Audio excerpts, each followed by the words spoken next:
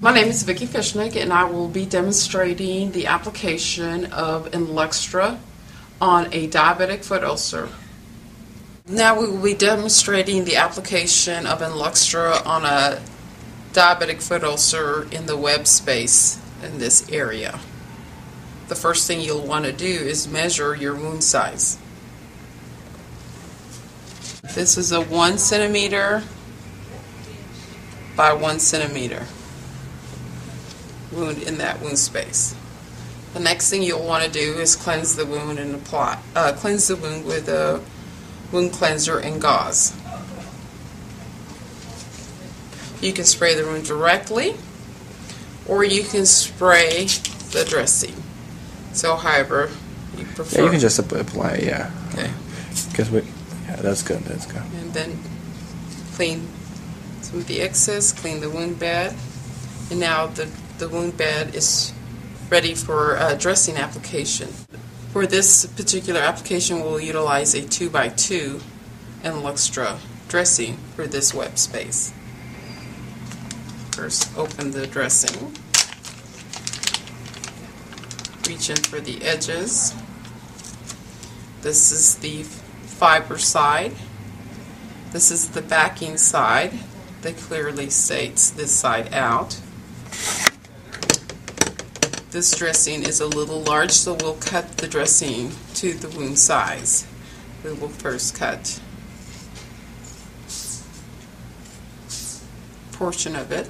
Then we'll also make allowances for the sides of both sides of the feet by etching the space for these areas.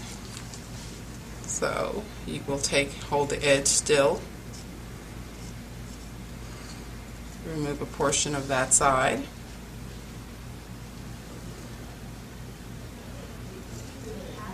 Remove a portion of that size as well.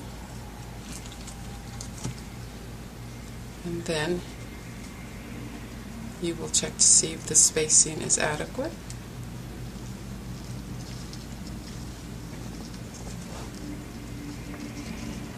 Okay, so now you've applied it, you've made contact with the wound, and to further ensure that you can will make contact with that space, is this you can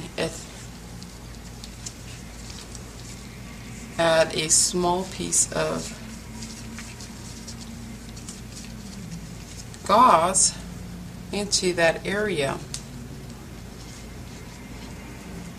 which will ensure full contact with that and then you'll want to secure the whole area with just some cotton tape And there's different ways you can secure the area either by securing down on the lower edge and or also along the center of the gauze, ensuring further contact with the wound bed and also on the back side. And you want to ensure also on the back side that it's also well and secure uh, and ensuring that the gauze will not move. And there you go. Now I'm going to secure, this is further securing is necessary. The patient is an ambulatory patient.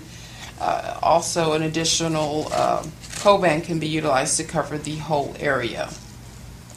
So as with any Coban.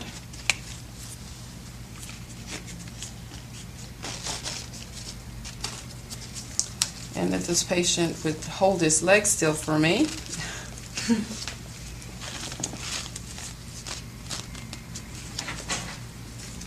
and also Kerlix is another option for securing a dressing on a patient uh, that may not uh, prefer the Coban due to its uh, sticky nature, but e but either way, it will still uh, be tightly secured either with Coban or Kerlix, uh, patient preference.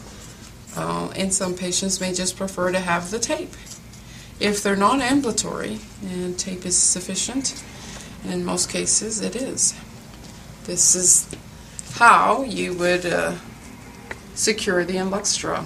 And it's a really easy process. Um, three steps. You cleanse, you um, cleanse the wound bed, you know, apply the dressing, and secure the dressing.